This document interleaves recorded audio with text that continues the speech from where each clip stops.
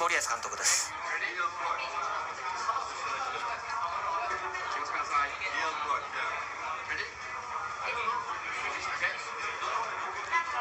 えー初戦の難しさを感じた90分だったと思います、えーまず試合全体の評価お願いします。そうですね、本当に、えーアジアカップ、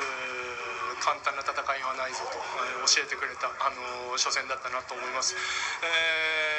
あ、初戦の難しさもありましたし、えーまあ、その中で、えーまあ、試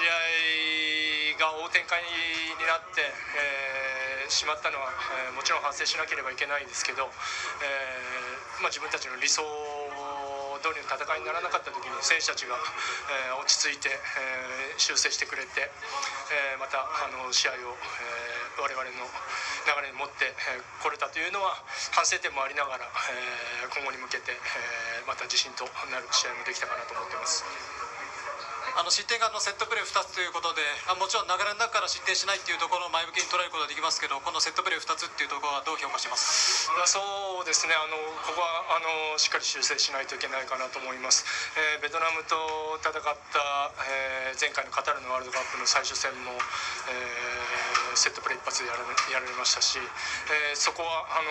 アジアカップを戦う上でどのチームもセットプレーにはかなり、えーパワーをかけてくると思いますのでえーしっかり対応できるように、えー次へ、え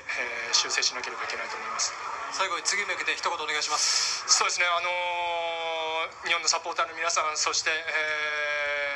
ー能登半島、えー地震で、えー被災している、えー皆さんに、えーまた勝利と励ましのエールを送れるように、えーベストを尽くしたいと思います。お疲れ様でしたありがとうございます。